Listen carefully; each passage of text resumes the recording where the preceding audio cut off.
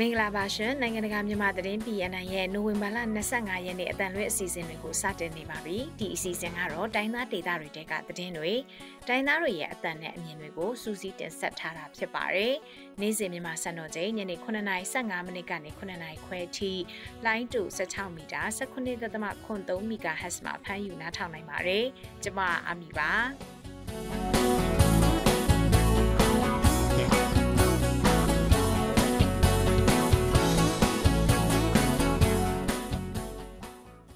ဒီနေ့သတင်းတွေထဲမှာတော့ကချင်ပြည်နယ်ဖကန့်ကစစ်ပေးရှောင်ပြည်သူ900ကျော်အရေးပေါ်အကူအညီတွေလိုအပ်နေပါတယ်။ကရင်ပြည်နယ်မြဝတီမြို့နယ်ထဲမှာစစ်ကောင်စီတပ်ဖွဲ့တွေနဲ့ကော့ပရာစစ်ကြောင်းအပါအဝင် KNL ပူးပေါင်းတပ်ဖွဲ့တွေအကြားတိုက်ပွဲတွေဆက်ဖြစ်နေပါတယ်။သတင်းလွှာတွေထဲမှာတော့ရခိုင်ပြည်နယ်မြေပုံမြို့နယ်က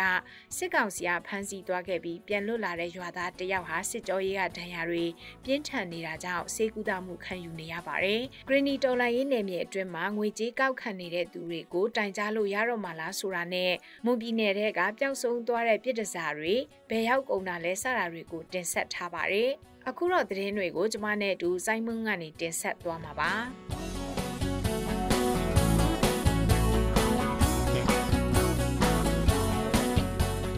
ကချင်ပြည်နယ်ဖားကတ်မြို့နယ်ထဲစစ်ရှောင်ပြည်သူ900ကျော်အတွက်အရေးပေါ်အကူအညီတွေလိုအပ်နေတယ်လို့အကူအညီပေးနေသူတွေက KNG သတင်းဌာနကိုပြောပါတယ် ဖားကတ်မြို့နယ်စိတ်မူကျေးရွာဘက်ကိုစစ်ကောင်စီတပ်ကအင်အားအလုံးရင်းနဲ့စစ်ကြောင်းထိုးဝင်ရောက်လာတာကြောင့်ကျေးရွာ9ရွာကဒေသခံပြည်သူရောက်900ခန့်ထွက်ပြေးတင်းရှောင်နေကြတာဖြစ်ပါတယ်။နိုဝင်ဘာလ23ရက်နေ့ကစပြီးစိတ်မှုကျေးရွာအုပ်စုထဲက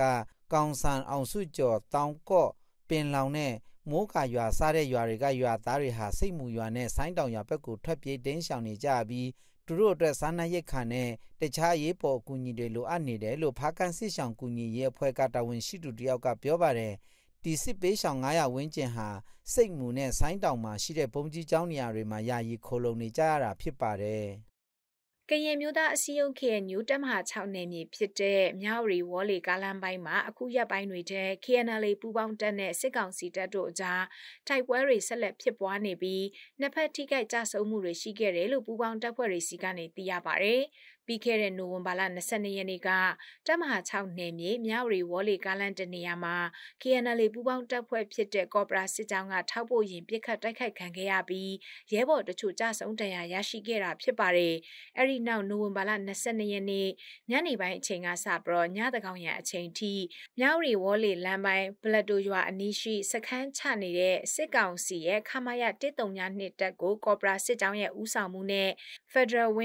Winds drone တပ်ဖွဲ့တွေကဘုံကျဲတိုက်ခိုက်ခဲ့တယ်လို့ Federal Wind drone တပ်ဖွဲ့ကနိုဝင်ဘာလ23ရက်နေ့ညပိုင်းမှာသတင်းထုတ်ပြန်ထားပါတယ်။ဂရီနီဘီဒီမော့ဆိုမြို့အနောက်ဘက်ခြမ်းမှာရှိတဲ့ဆလောင်စစ်ဆောင်စခန်းမှာရေရှားတဲ့ပြဿနာကြောင့်ရေကိုဝယ်ယူသုံးဆဲနေရတယ်လို့စစ်ဆောင်တွေကပြောပါတယ်။ရေကိုဝယ်ယူသုံးဆဲတဲ့နေရာမှာလဲတယူနစ်ကို2500ကျပ်နဲ့ဝယ်ယူရပြီးနှစ်အိမ်ပေါင်းမှတယူနစ်နဲ့ပဲရောင်းချပေးတယ်လို့ဆလောင်စစ်ဆောင်စခန်းကကော်မတီဝင်ဦးစန်းပွင်းကပြောပါတယ်။ စစ်ပေးရှောင်စခန်းတွေမှာရေရှားလာတဲ့အပြင်ရေအလူရှင်လည်းမရှိတဲ့အတွက်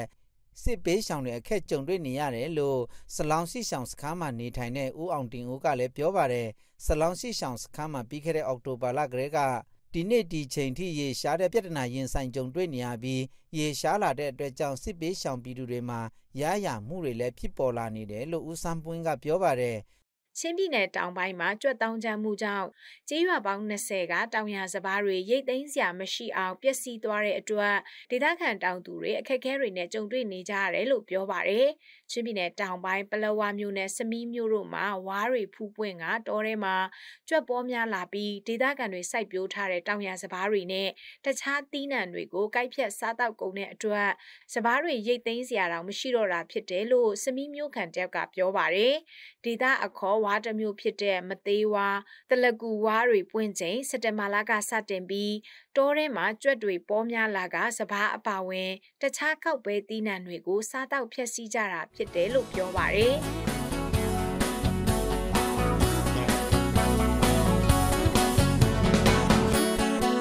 နားဆင်ခဲ့ရတာကတော့ BNI Radio ရဲ့နေ့စဉ်သတင်းအစီအစဉ်ပဲဖြစ်ပါတယ်။ဒီအစီအစဉ်ကိုတော့နေ့စဉ်မြန်မာစံတော်ချိန်ည9:15မိနစ်ကနေ9နာရီခွဲအထိ15မိနစ်ကြာထုတ်လွှင့်သွားမှာဖြစ်ပါတယ်။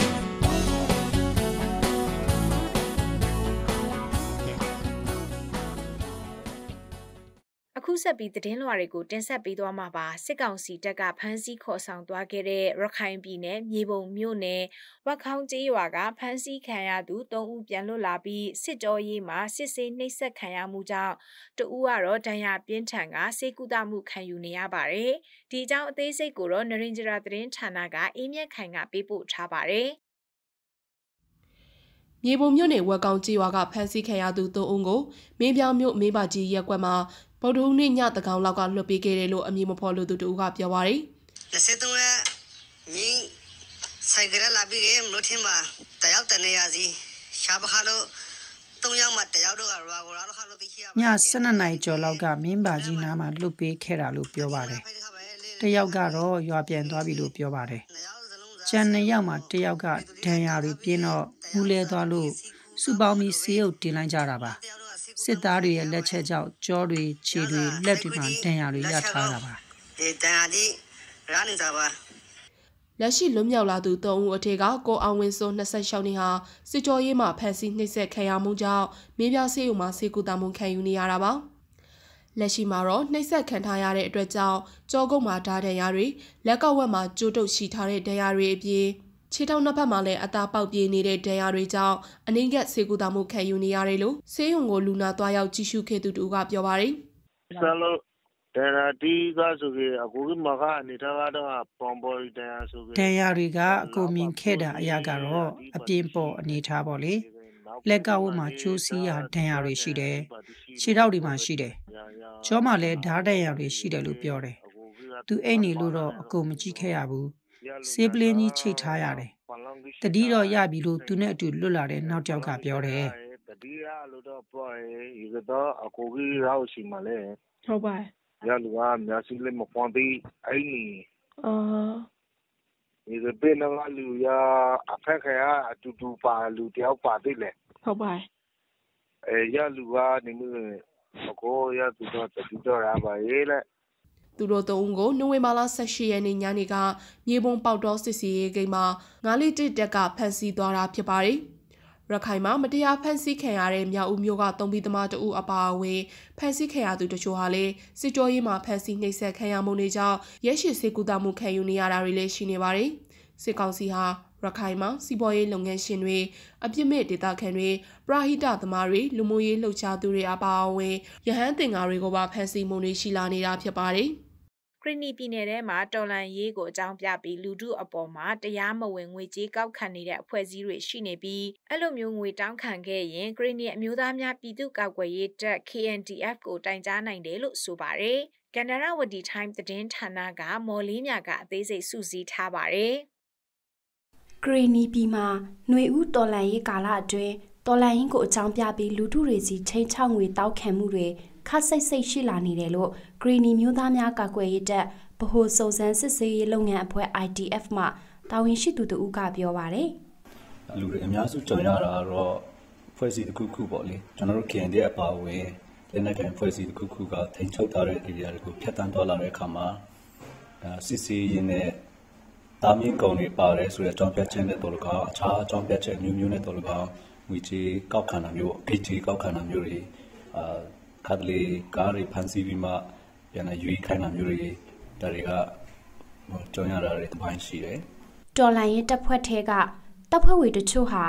အကောက်အခွန်ပုံစံမျိုးတွေနဲ့ငွေတောက်ခံတာတွေတချိန်ကတော်လိုင်းရဲ့တပ်ဖွဲ့ထဲပါဝင်ခဲ့ပြီးလက်ရှိမှာအကြောင်းမျိုးမျိုးကြောင့်မပါဝင်တော့ပေမဲ့ အဖွဲ့အစည်းတစ်ခုရောက်ဆောင်ပြီးငွေတောက်ခံတာတွေစတဲ့ပုံစံမျိုးတွေနဲ့ငွေတောက်ခံနေတာကိုတွေ့နေရတယ်လို့ဆိုပါတယ်။တကယ်ပဲလက်နက်ကင်တော်လိုင်းကိုဆင်နွှဲနေတဲ့အစုဖွဲ့တွေကလူတွေတချို့ရှိတယ်။သို့တော့အဲ့ဒီအဖွဲ့ကဆုံးဖြတ်ချက်ရှိရှိနဲ့တစ်ဖွဲ့လုံးက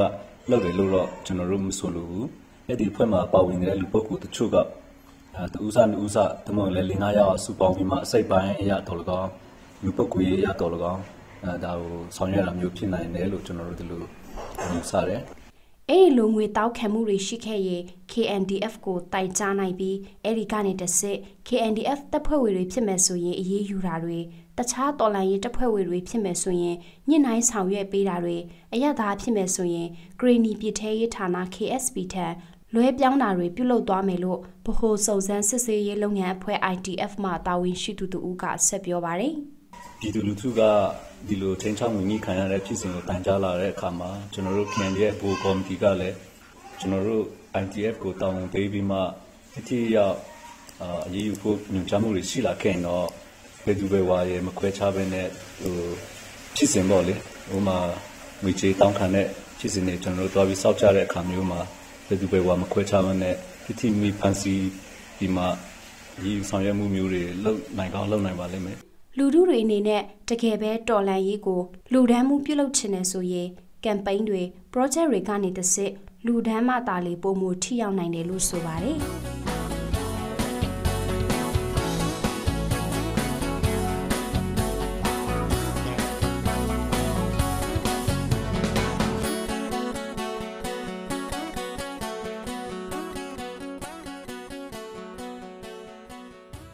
ပြည်နယ်အတွင်းမှာရှိတဲ့တရားမဝင်အနှိတ်ခမ်းနဲ့လိန်ဝင်ဆောင်မှုပေးတဲ့နေရာတွေကနေလိန်ပိုင်းဆိုင်ရာအသုံးချဖို့စစ်ကောင်စီတပ်ဖွဲ့ဝင်တွေလာရောက်ခေါ်ဆောင်သွားတဲ့အမျိုးသမီးလိန်လုတ်သားတချို့ဟာတရင်အဆနာမရပဲပျောက်ဆုံးတာတွေရှိနေတယ်လို့အမျိုးသမီးအရေးကူညီဆောင်ရွက်နေသူတွေကတန်လွင်ထိုင်းကိုပြောပါတယ်။အသေးစိတ်ကိုတော့ဟန်တာနွန်ကစူးစီးတင်ဆက်ထားပါတယ်။စစ်တပ်အာဏာသိမ်းပြီးတဲ့နောက်မှာစစ်ကောင်စီတပ်ဖွဲ့ဝင်တွေဟာခန္ဓာကိုယ်နဲ့ရင်းပြီးလောက်ကန်စားတောင်းနေရတဲ့အမျိုးသမီးလိန်လုတ်သားတွေကို ဆိုင်ရှင်တွေနဲ့ညှိနှိုင်းပြီးခေါ်ဆောင်တာတွေရှိသလိုလက်နက်ကင်ချင်းချောက်ပြီးခေါ်ဆောင်သွားတာတွေလည်းရှိနေတာဖြစ်ပါတယ်။အဲ့ဒီအထက်မှာစစ်ကောင်စီတပ်ဖွဲ့ဝင်တွေလာရောက်ဖမ်းဆီးခေါ်ဆောင်သွားတဲ့အမျိုးသမီးလိန်လောက်သားတချို့ဟာပြန်လည်ရောက်ရှိလာတာမရှိသလိုစုံစမ်းမင်းမြန်းလို့လည်းမရပဲပျောက်ဆုံးနေတာကြောင့်အသက်အန္တရာယ်ကြားရောက်နိုင်တဲ့အထိစိုးရိမ်နေရတယ်လို့အမျိုးသမီးရေးကူညီဆောင်ရွက်နေသူတူကပြောပါတယ်။ဒီမှာကကျွန်တော်တို့ကအပြည့်အတိုင်းလေလက်နက်နဲ့အကြမ်းဖက်ခံရတဲ့အနေအထားတွေရှိတယ်။အထူးသဖြင့်ကတော့ လက်နက်ကိုင်ပြီးတော့လာတဲ့လူတွေသည်ဒီမှာလာပြီးတော့လုပ်ပိုင်ခွင့်ရနေတယ်လို့ဖြစ်နေတယ်။ဒီ CCTV တွေမှာစက်တွေမှာလာလို့ရှိရင်လည်းဆိုင်ရှင်တွေအနေနဲ့ကသူတို့ကိုတားနိုင်တဲ့ပါဝါမရှိနေဘူးပေါ့နော်။သူတို့တွေက PID အနေနဲ့ CCTV တွေမှာ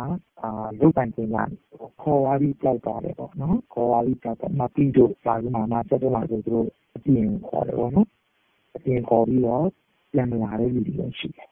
ဒါအပြင်ပျောက်ဆုံးသွားတဲ့အမျိုးသမီးလိန်လုတ်သားတွေအကြောင်းကိုလိုက်ပြီးမေးမြန်းပါကလည်းသူတို့လောက်ကန်ခဲ့တဲ့ဆိုင်တွေကဘယ်ကိုရောက်သွားလဲဆိုတာကိုတတိကျမပြောနိုင်သလိုခေါ်ဆောင်သွားတဲ့စစ်ကောင်စီတပ်ဖွဲ့ဝင်တွေကိုယ်တိုင်ကလည်းခေါ်ဆောင်သွားတဲ့စစ်ကောင်စီတပ်ဖွဲ့ဝင်တွေကိုလည်းမမေးမြန်းရဲတာကြောင့်ဘယ်လိုပျောက်ဆုံးသွားလဲဆိုတာကိုမသိရဘူးလို့ဆိုကြပါတယ်လက်ရှိမှာမျိုးသမီးလိန်လုံသားတွေဟာလိန်ဝန်ဆောင်မှုလုပ်ငန်းတွေလုပ်ကင်ဖို့အတွက်စစ်ကောင်စီလက်အောက်ခံတပ်ဖွဲ့ဝင်တွေကို ဆိုင်တဲ့ဆိုင်အတွက်ငွေကျပ်10သိန်းကျော်ပေးရပြီးမဲ့သူတို့ရောက်ရှိလာမယ်ဆိုလို့ရှိရင်ပတ်စံမရှိမဲ့လက်နက်အားကိုနဲ့အကြမ်းဖက်တာတွေလှုပ်ဆောင်တော့လေလို့အမျိုးသမီးလိန်လုံသားတူကပြောပါတယ်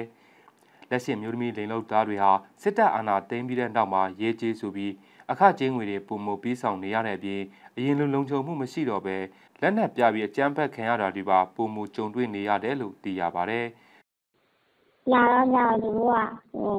အခါကြီးမပေးဘူးလေအခါကြီးမပေးဘဲနဲ့ဝင်လာရင်များတယ်သူတို့ကဒါကြောင့်မှ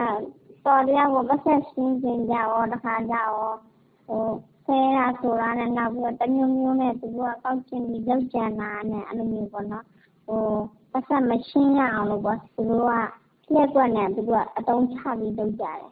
သူကဆဲကြဆဲလို့မရရင်တခါသူကလက်တွေပါပြီးပါလို့ရတယ် ဒါအပြင်အရင်ကအမျိုးသမီးလေလုတ်သားကြမ်းဖက်ခံရတာတွေပျောက်ဆုံးတာတွေတိုင်ကြားလို့ရခဲ့ပေမဲ့လက်ရှိမှာတော့တိုင်ကြားလို့မရတော့သလိုတိုင်ကြားပါကလည်းမိမိတို့ကိုယ်တိုင်ဖမ်းဆီးခံနိုင်ရတဲ့အခြေအနေတွေနဲ့ကြုံတွေ့နေရတယ်လို့အမျိုးသမီးလေလုတ်သားတွေကဆိုကြပါဗျ။မော်မီနယ်အတွင်းမှာတော့ခန္ဓာကိုယ်နဲ့ယဉ်ပြီးလောက်ကင်စားတောင်းနေရတဲ့အမျိုးသမီးလေလုတ်သား800ဝန်းကျင်ကျော်ရှိပြီးအမျိုးသမီးလိန်လုတ်သားများစုဟာညဘက်တွေမှာလောက်ကင်ရှာပွဲစားတော့နေရတာကြောင့်စစ်ကောင်စီရဲ့ညမထက်ရအမိတ်တွေကြောင့် အလုတ်ကင်ပုံမှုခက်ခဲလာသလိုစောင်းဝန်းနေရေးတွေလည်းပုံမှုကျက်တဲလာတယ်လို့သိရပါတယ်